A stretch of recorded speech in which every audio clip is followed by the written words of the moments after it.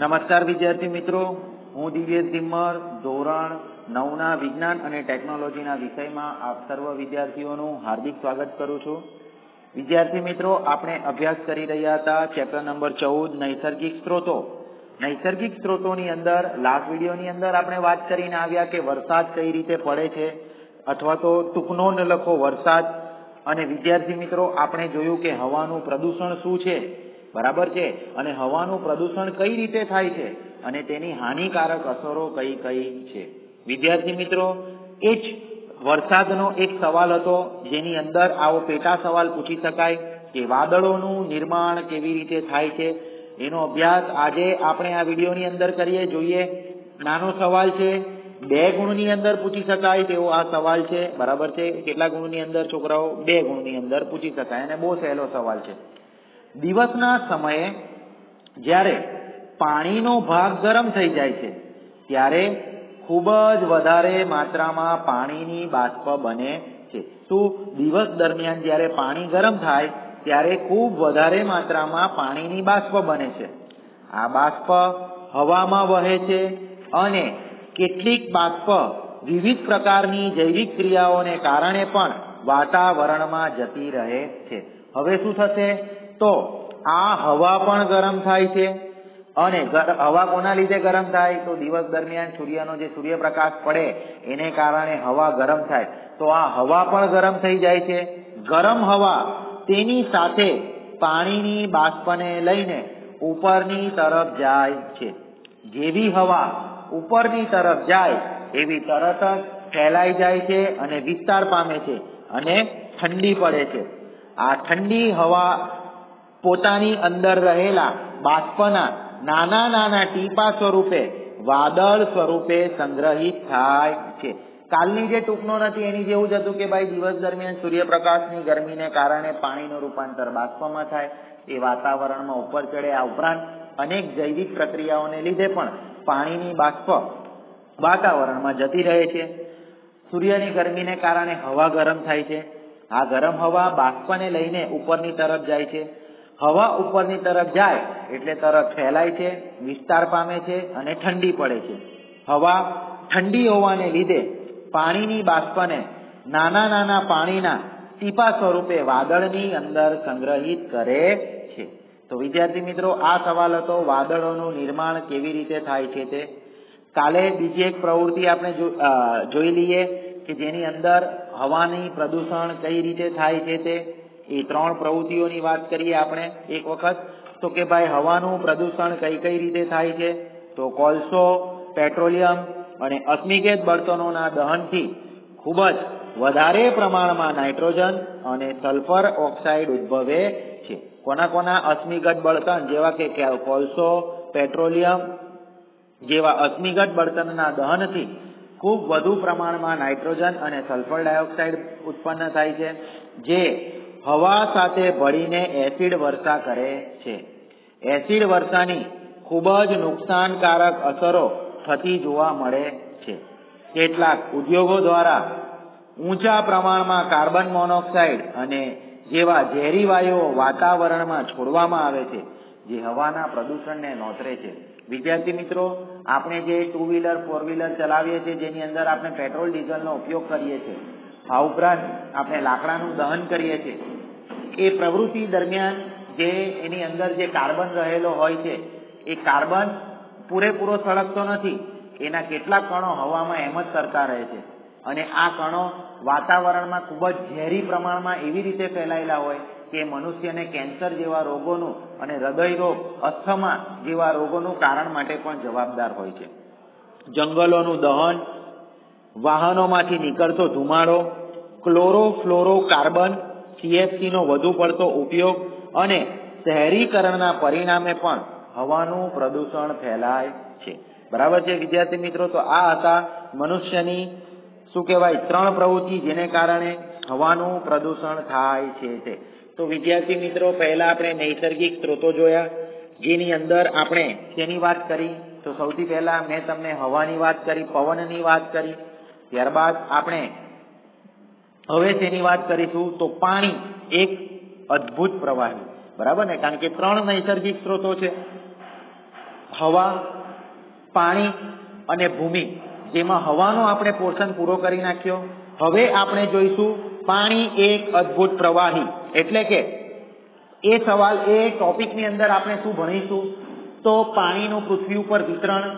પાણી એ મનુષ્યને કઈ રીતે ઉપયોગી છે? આ ઉપરાંત પાણીનું પ્રદૂષણ કઈ રીતે થાય છે, આટલી વસ્તુનો આપણે અભ્યાસ કરીશું. તો વધીએ આપણે આગળના સવાલ ઉપર અને સવાલનું નામ છે, પાણી એક અદ્ભુત પ્રવાહી તરીકે સમજાવો. વિદ્યાર્થી મિત્રો, નાના નાના સવાલો આની અંદર પૂછી શકાય અને આનામાંથી એક મહત્વનો બે ગુણનો સવાલ પૂછી શકાય કે પ્રાણીઓમાં પાણીનું મહત્વ જણાવો અથવા તો સજીવોની અંદર પાણીનું મહત્વ શું છે? સજીવોને પાણીની જરૂરિયાત શા માટે હોય છે? બરાબર છે? તો આપણે એનો સવાલનો જવાબ પણ આની અંદર જ અભ્યાસ કરીશું. હવે આપણે જાણીએ છીએ કે પાણી એ પૃથ્વીની સ્વરૂપે મોટા ભાગે પૃથ્વીની સપાટીનો મોટો ભાગ છે. બરાબર? સિત્તેર ટકા જેટલો ભાગ છે. એ સિત્તેર ટકા ભાગની અંદર પાણી આવેલું છે. બરાબર? કેટલુંક પાણી બાષ્પ સ્વરૂપે પણ છે ને કેટલુંક પાણી ભૂમિની અંદર પણ સંગ્રહાયેલું છે. હવે પૃથ્વી ઉપર બે પ્રકારનું પાણી છે. એક એ દરિયામાં રહેલું છે મોટે ભાગે, જેને કહેવામાં આવે છે ખારું પાણી. બરાબર ને? એ સમુદ્રની અંદર રહેલું છે, મહાસાગરોની અંદર રહેલું છે ખારું પાણી, જેનો આપણે કોઈ ઉપયોગ કરતા નથી. અને માત્ર એક પર્સન્ટ કે બે પર્સન્ટ જેટલું જ મીઠું પાણી છે, જે નદી, ઝરણા, તળાવ તળાવ, સરોવરો, ભૂમિગત પાણી, જેના સ્વરૂપે રહેલું છે. આ ઉપરાંત આપણા જે બરફ આચ્છાદિત શહેરો છે બરાબર છે? બરફ આચ્છાદિત શહેરો જેમ કે એન્ટાર્કટિકા, સર્બિયા, બરાબર છે? આ બરફ આચ્છાદિત શહેરો છે. ધ્રુવ પ્રદેશો કહેવાય એને. આ ધ્રુવ પ્રદેશો ઉપર પણ મીઠું પાણી, કયું પાણી? મીઠું પાણી. ઘન સ્વરૂપે રહેલું છે. એટલે કે બરફ સ્વરૂપે રહેલું છે. તો આ હતું આપણું પાણીનું.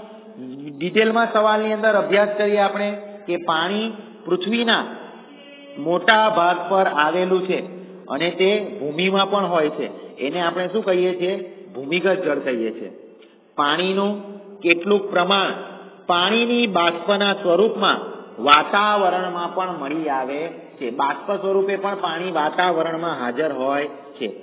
પૃથ્વીની સપાટી પર મળી આવતું પાણી મોટે ભાગે દરિયામાં અને મહાસાગરોમાં હોય છે અને તે ખારું હોય છે. દરિયાની સપાટી ઉપર જે આપણને પાણી મળી આવે, બરાબર એ ક્યાં હોય છે? મહાસાગરોની, આ, સોરી પૃથ્વી પર આપણને જે ખારું પાણી મળી આવે છે તે ક્યાં હોય છે? દરિયામાં અને મહાસાગરોમાં હોય છે અને તે ખારું છે. આપણા પીવા માટે કોઈ પણ પ્રકારે ઉપયોગમાં આવતું નથી. શુદ્ધ પાણી બરફના સ્વરૂપમાં બંને ધ્રુવો પર, ઉત્તર ધ્રુવ અને આપણો દક્ષિણ ધ્રુવ, બરફ આચ્છાદિત પ્રદેશ છે. વિદ્યાર્થી મિત્રો, એન્ટાર્કટિકા ખંડ અને રશિયાનો સર્બિયા પ્રદેશ. બરાબર, માઇનસ ત્રીસ ડિગ્રી સેલ્સિયસ જેટલું તાપમાન હોય, એનાથી પણ વધારે. અને બરફથી આચ્છાદિત પહાડો કે પર્વત પર મળી આવે છે. જેમ કે આપણી ગંગા નદી ક્યાંથી નીકળે છે? હિમાલયમાંથી નીકળે છે. તો એનું શુદ્ધ પાણી હોય. બરાબર છે? પીવાલાયક અને મીઠું પાણી હોય. ભૂમિગત પાણી નદીઓ, ઝરણાઓ અને તળાવોના પાણી પણ શુદ્ધ હોય છે, પીવાલાયક હોય છે. છતાં પણ પાણીના પ્રાપ્યતા વિભિન્ન સ્થળો પર, વિભિન્ન સ્થાનો પર ભિન્ન ભિન્ન હોય છે.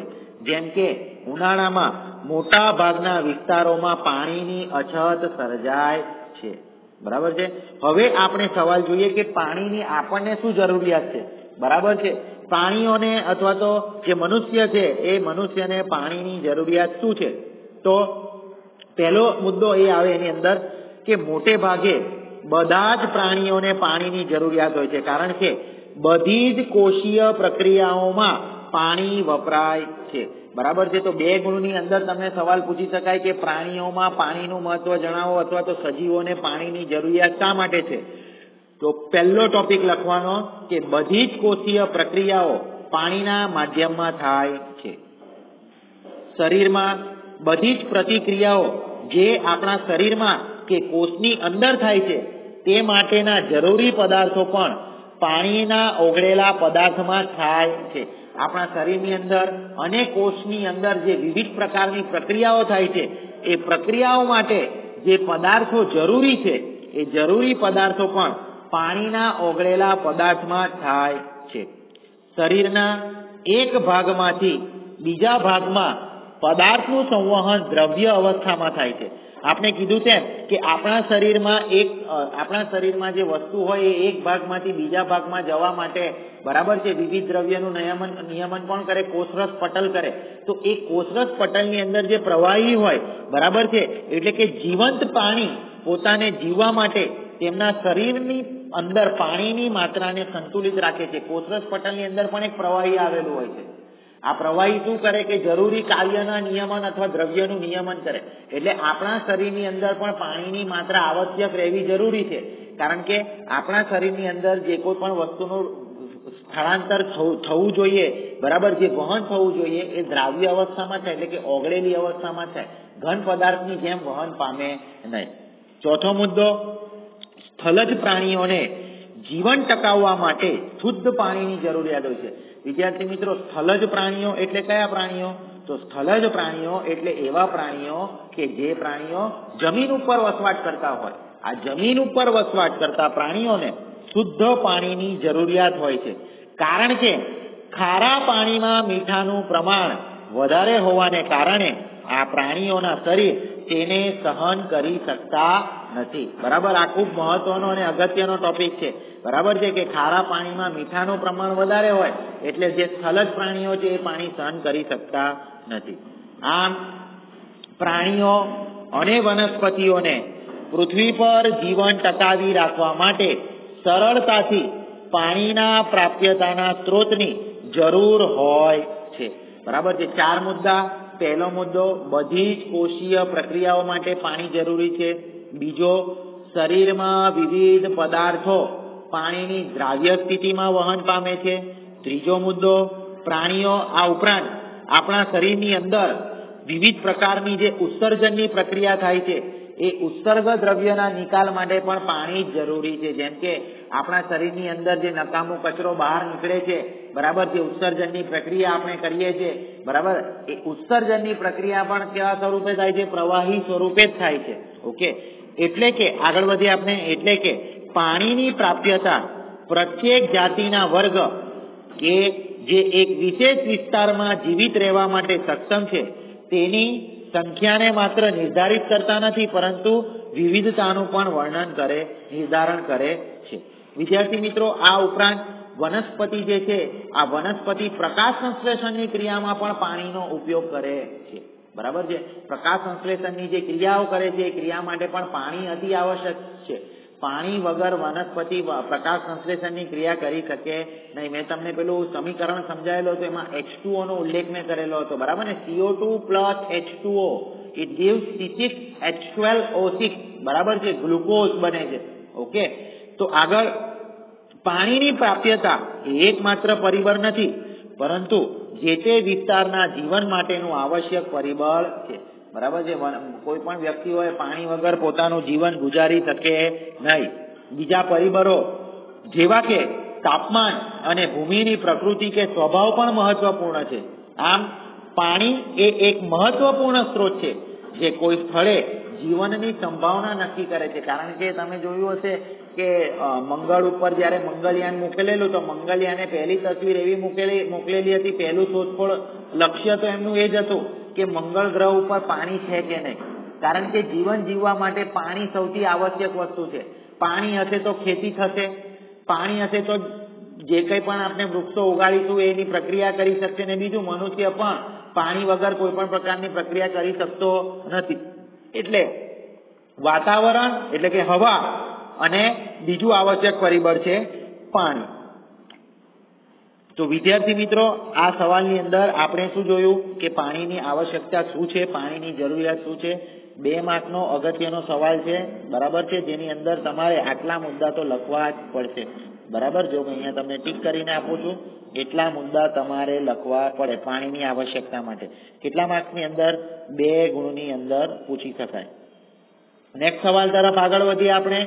નેક્સ્ટ સવાલનું નામ છે કે ઓકે આયરો સવાલ, કે સજીવોને પાણીની જરૂરિયાત શા માટે હોય છે?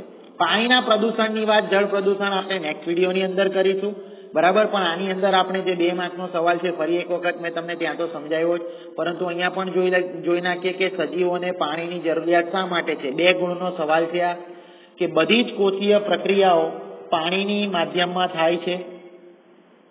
બધી પ્રતિક્રિયાઓ જે આપણા શરીરમાં કે કોષની અંદર થાય છે તે માટેના જરૂરી પદાર્થો પાણીના ઓગળેલા પદાર્થો હોય છે.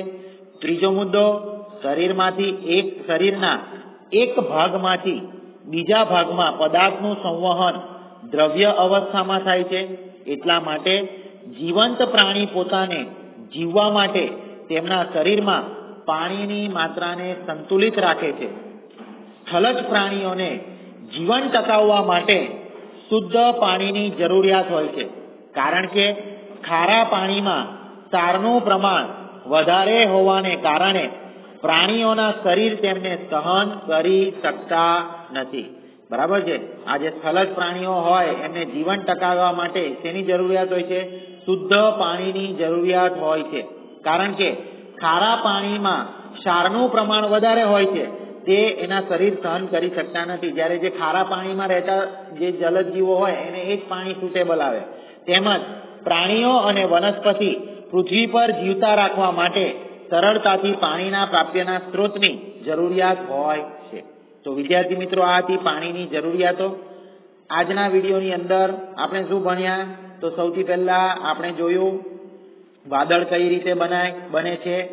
ત્યારબાદ હવા કઈ રીતે પ્રદૂષિત થાય છે? પાણી એક અદ્ભુત સ્ત્રોત, અદ્ભુત જરૂરિયાત અને બીજું જોયું આપણે સજીવોને સજીવોને પાણીની જરૂરિયાત શા માટે હોય છે? તો વિદ્યાર્થી મિત્રો, આજના વિડીયોની અંદર બસ આટલું જ.